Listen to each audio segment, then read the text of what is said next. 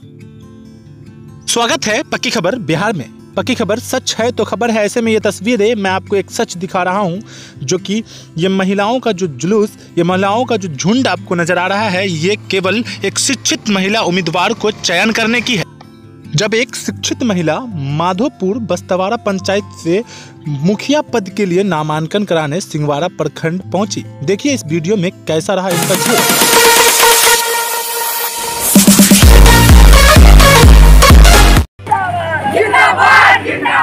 加油！去打吧。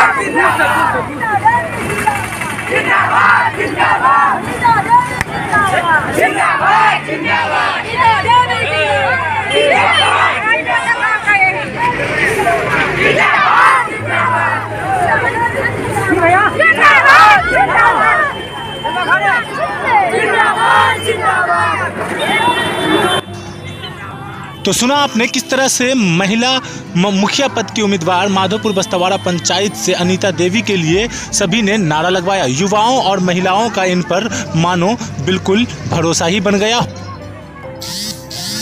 क्योंकि ये शिक्षित महिला मुखिया उम्मीदवार जो कि क्षेत्र के चौतरफा विकास की वादा करती हैं, बातें करती हैं और क्षेत्र का चौतरफा विकास में सबसे पहला मुद्दा इनकी क्षेत्र की जो स्थिति है, उसे सुधारना और शिक्षा के दिशा में ज़्यादा से ज़्यादा लाभ दिलवाना, शिक्षित पंचायत और शिक्षित व्यवस्था दिलवाने की कोशिश में है। तो ऐसे में शिक्षित उम्मीदवार, शिक्षित महिला उम्मीदवार माधोपुर बस्तवाड़ा पंचायत से अनीता देवी को विजय बनाने की जनता ने ठान ली है।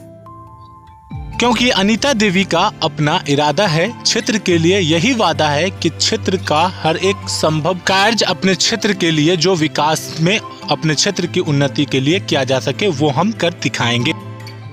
हमारे इस चैनल को सब्सक्राइब करें और बेल आइकन दबाकर नोटिफिकेशन ऑल कर दें, ताकि हमारा सभी वीडियो आप तक पहुँचे सबसे पहले।